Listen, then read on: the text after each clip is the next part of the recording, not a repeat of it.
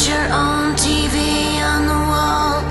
Carve out insects to feed us all. Lights flash by and the